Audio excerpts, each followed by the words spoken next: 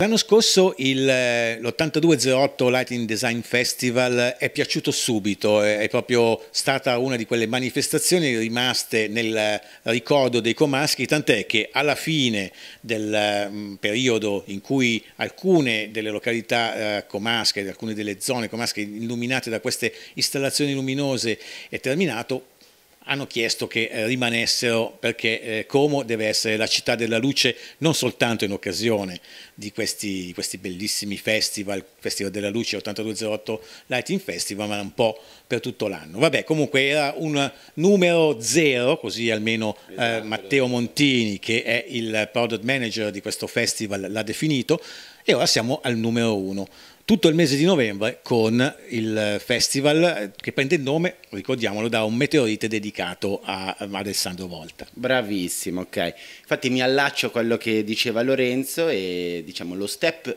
in più che quest'anno il festival vuole fare eh, di acquisire due opere, due installazioni luminose per far sì che eh, ci sia anche una veicolazione del festival in altri paesi, in altre città internazionali, per, o anche riproporlo in altri momenti dell'anno a Como. Eh, quindi questa è una novità, diciamo, l'acquisizione di determinate opere artistiche. L'altra novità è mh, la creazione di una rete di festival nazionale eh, che hanno un po' come mission la luce, l'arte e il design. Quindi abbiamo creato questa rete con Firenze, col Flight Festival, che ci sarà dall'8 dicembre all'8 gennaio, e con l'Albero Bello Light Festival, che si è appena concluso ed è stato diciamo, un, un grosso successo.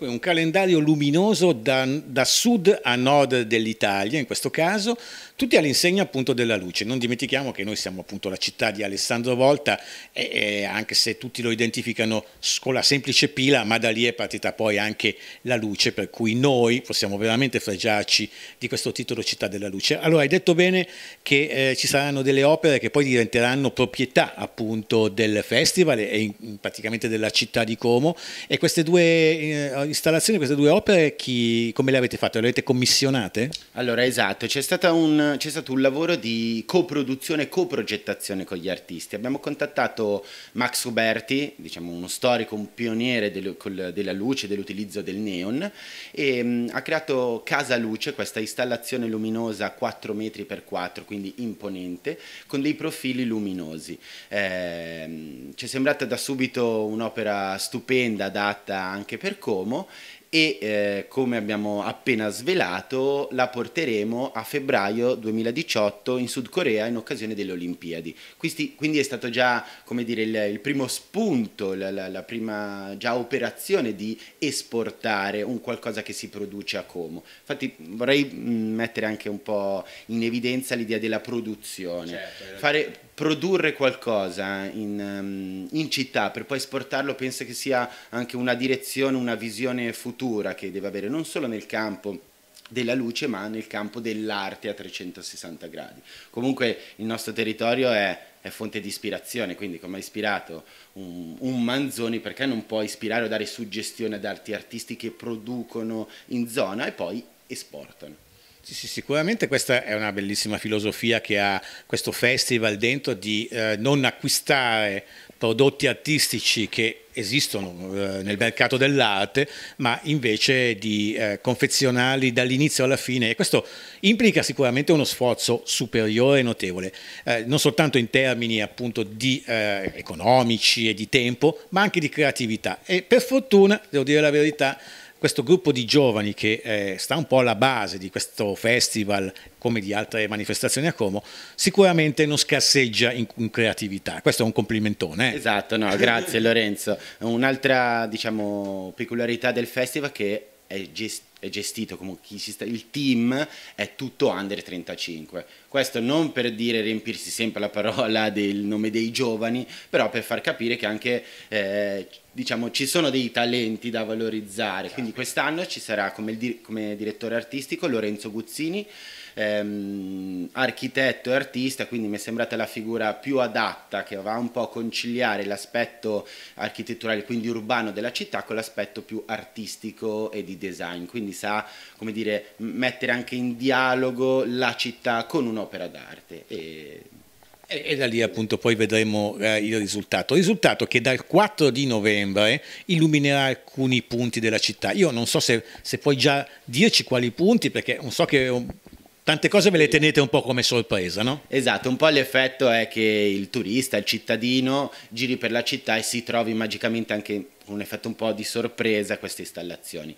Allora, io consiglio di, di passare dal 4 al 24 novembre ai giardini del Tempio Voltiano, che ci saranno due installazioni in Darsena come l'anno scorso, quindi è stata un po' una location che ci è piaciuta e abbiamo voluto riconfermare. E eh, Porta Torre, quindi Porta Torre anche lì eh, quando sceglievamo le location abbiamo pensato Porta Torre comunque porta con sé anche una determinata eredità dall'anno scorso, certo. molto importante, quindi abbiamo pensato anche lì una grossa installazione interattiva dove i cittadini possono anche riuscire a manipolare la luce con la propria voce non vi svelo nient'altro. Ecco, non svelarci molto perché appunto noi, noi, vogliamo un po' mantenere anche questo, questo, fascino della scoperta di queste installazioni luminose, però poi raccontarci invece una serie di cose, perché il festival non si limita a installare a Como delle opere d'arte con la luce dentro, ma è anche eh, occasione per dei convegni scientifici, dei laboratori per i ragazzi, una mostra e dei momenti anche eh, di aggregazione ludici che eh, non fanno mai male, perché l'arte eh, al giorno d'oggi bisogna un po' anche sdoganarla insieme al divertimento. Esatto, bravissimo Lorenzo, cioè, ci troviamo in perfetta collimazione. Eh, appunto quello che dicevi è che l'arte adesso è diventata la cultura molto più liquida, quindi non ci sono più dei, dei confini, delle barriere ben definite. Quindi la, programmaz- la, programmazione parte dal 4 novembre eh, con l'inaugurazione del festival, l'inaugurazione della mostra Black, Eye, Black Light Art, a cura della Fondazione Agrifoglio, eh, dove un ciclo continuo di luce nera, bianca e buio andranno a, a, rendere delle opere continuamente con colori differenti. In Pinacoteca. In Pinacoteca, giusto. Eh, L'11 novembre al Teatro Sociale eh, ci sarà un po' una riconfigurazione del teatro dove il pubblico sarà sul palco e l'artista sarà in platea. Questo anche per riuscire a mettere, come dire, a, a creare un rapporto diverso con gli spazi teatrali. Eh, ci sarà uno show di Feldemerder, ehm, avrà 21 barre LED disposte in maniera ortogonale sulla platea e giocherà con suoni e luce. Dopodiché il 18 novembre presso l'Accademia Galli ci sarà una giornata di confronto, quindi di divulgazione scientifica e non solo, quindi una commissione tra arte e sviluppo tecnologico, quindi come queste due direzioni si possono contaminare e creare scenari sempre, sempre più diversi. Sempre il 18 novembre alla sera, pre, eh, dalle 21 presso Villa del Grumello, eh, riproporremo con Iolo l'installazione Limen in una maniera diversa, quindi site specific per eh, le serre del Grumello. Anche lì uno show molto particolare da venire tramite registrazione sul sito. E ehm, diciamo che questo eh, è un insomma, po'. Ce n'è talmente tanto che poi il programma ovviamente lo trovate eh, esatto. ben eh, sviluppato sia sul sito eh, del festival www.8208.it sia soprattutto anche attraverso i social, la pagina Facebook. Eh, ricordiamo comunque una cosa molto importante che fa sempre parte un po' di quello che è la preparazione di un evento come questo. Già la settimana scorsa eh, il festival è iniziato con, eh, il, eh, con, un laboratorio di studenti che venivano da Barcellona. No? Bravissimo, sì, esatto.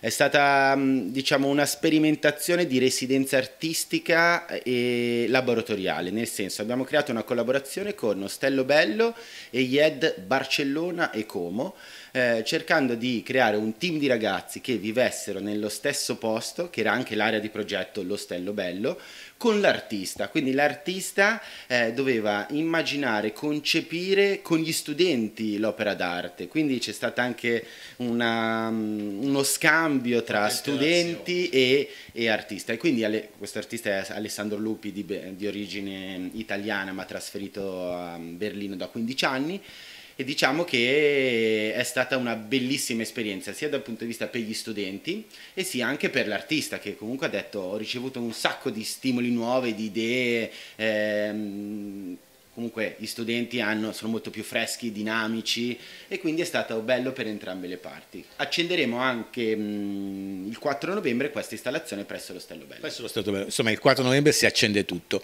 e si accendono anche i monumenti di Como con una luce blu che serve giusto per ricordare che a Como sta succedendo qualche cosa. Esatto, quindi l'idea col progetto nel blu dipinto di blu è di colorare determinati monumenti all'interno della città così che un po' tutta la città parla parli eh, della luce, quindi dell'8208, quindi questo è un po' il, ehm, diciamo, anche il valore aggiunto che il festival vuole dare alla città quest'anno. Benissimo, io penso che sia veramente una bellissima manifestazione nata a Como soltanto da, da un anno, questo è, è, il, è, il, secondo e che può richiamare anche tantissimi, eh, tantissimi giovani, tanto, tanto, pubblico anche eh, qui dalla Svizzera, dal, da tutta la Lombardia e vi faccio naturalmente un grosso in bocca al lupo per la riuscita Credo, della grazie. manifestazione. Grazie mille a Matteo Grazie Monti. mille Lorenzo e a tutta la radio come sempre.